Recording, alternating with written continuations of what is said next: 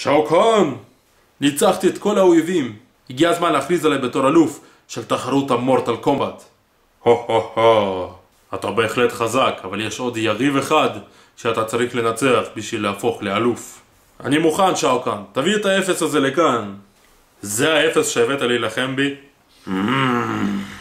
כן, כן, אתה, אפס. אני לא אפס. אני מתחת לאפס.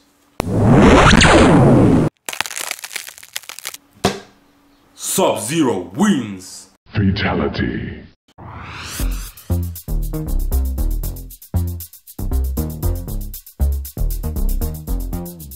שלום לכם ילדים גדולים וקטנים בכל הגילאים, איתכם שוב יגאל מיגאלס מד טויז, והיום אני מביא לכם את הסיקור של סאב זירו מתוך מורטל קומבט.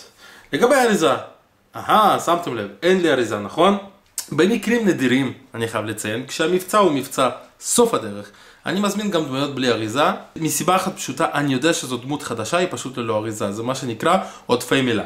מאחר ואי אפשר לדבר על אריזה, בואו נדבר על הדמות. את סאבזירו ראינו לראשונה במשחק ארקייד שהתחיל בתחילת שנות ה-90 כזה, משחק מדהים, והמשחק וה- מאוד אלים, זה היה משהו חדש אז. כי בעצם המשחק הזה מבוסס היה על דמויות מצולמות, ולא סתם על דמויות מאפנות מצוירות.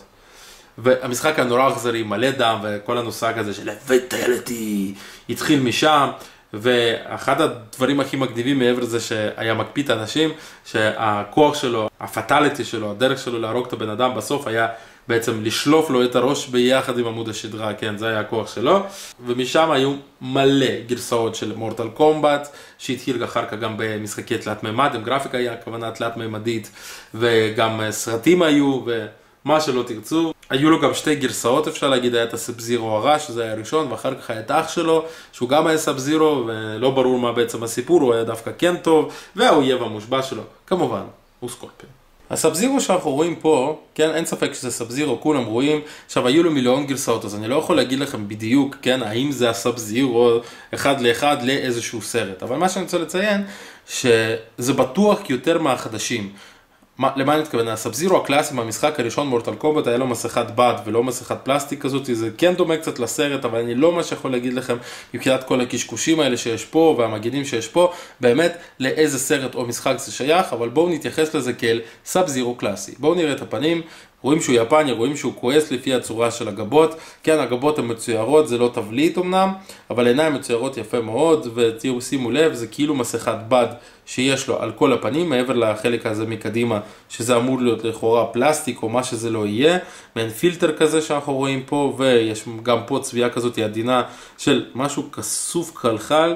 הוא לא כמו הסאב זירו המקורי שהיה כאילו סתם בד פה, הוא כולו מאותר בכל מיני ציורים ומעין כפתורים פה והכל בצביעה כסופה עדינה ומוצלחת הייתי אומר. על הידיים יש לו מעין שני מגינים כאלה על כל צד, ותראו מעבר לזה שזה תבליט יפה של איזשהו פרצוף, זה שילוב של כמה צבעים, זה צבע שחור עם קצת כסוף, מעין שטיפה כסופה מלמעלה, וזה עושה כאילו שזה היה בשימוש, והצבע קצת דוהה, שזה מאוד יפה. נראה של החגורה, הפרצוף מאוד דומה לשאוקן, שזה האמפרור, הקיסר, אבל אני לא בטוח, או שזה הציור שיש לו על הצדדים, קשה לי להגיד. על הידיים יש לו גם את אותו הסגנון של המגן. אבל על המגן הזה יש מעין רצועות כחולות כאלה, ושימו לב, כל זה צביעה עדינה וזה גם יציקה. הרצועות האלה זה לא סתם צביעה, זה יציקה ממש שצבעו אותה, שזה ממש יפה. מבחינת הרגליים זה קודם כל מכנסי נינג'ה קלאסיים כאלה, כמו בסרטים. אנחנו רואים את אותו שילוב גם על המגני רגליים פה, מגני ידיים.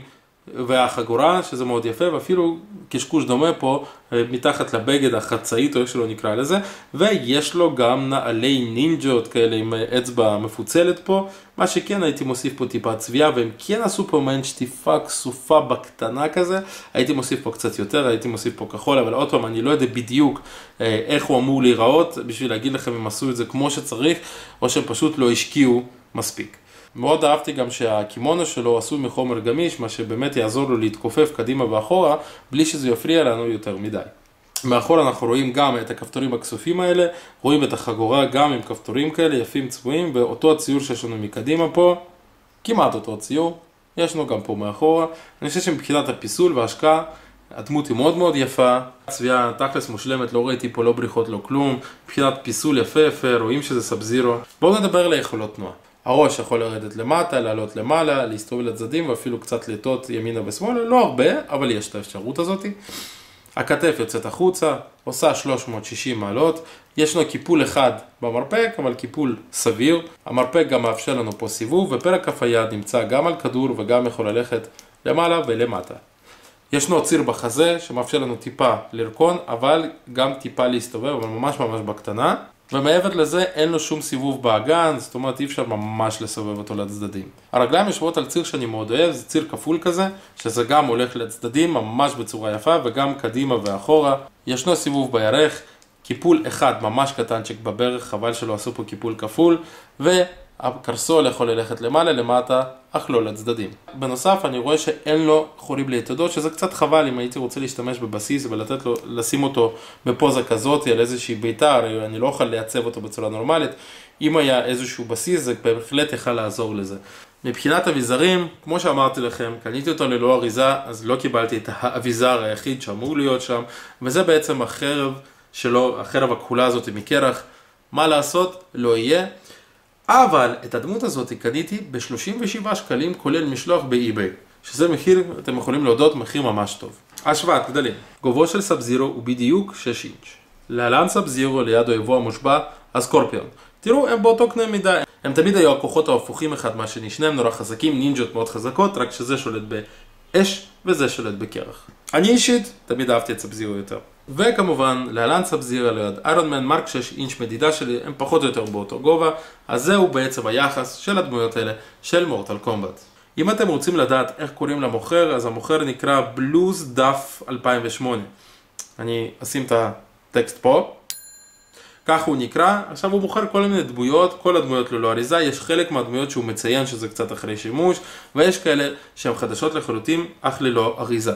בכל מקרה אפשר גם לדבר איתו באימיילים והוא באמת יגיד לכם פר דמות שאתם רוצים מה הקטע שלה ועשרה דולר שזה 37 שקלים על הדמות הזאת, סליחה, זה כמעט חינם.